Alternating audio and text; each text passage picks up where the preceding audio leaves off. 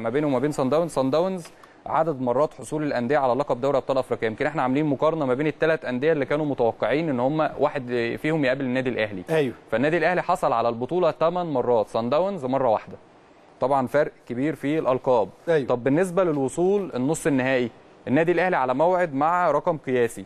إن هو يوصل لأن إن ال- رقم المرة رقم 16 ده رقم ك- الرقم القياسي أصلا مسجل بإن اسم النادي الأهلي 15 مرة. أنت ممكن كمان تكسر الرقم القياسي وتوصل تخليه 16 مرة بإذن الله لما تعدي سان داونز.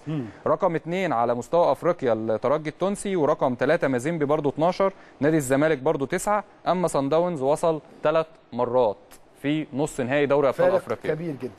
وأعتقد اللي إحنا برضو سمعناه من تصريحات محمد الشناوي دي حاجة مهمة. دي اللي أنا بقول لحضرتك عليها إن هي هتديك حافز. معنوي مهم جدا للعيبة إن هي ترد الاعتبار في الماتشين دول إن شاء الله عن يعني.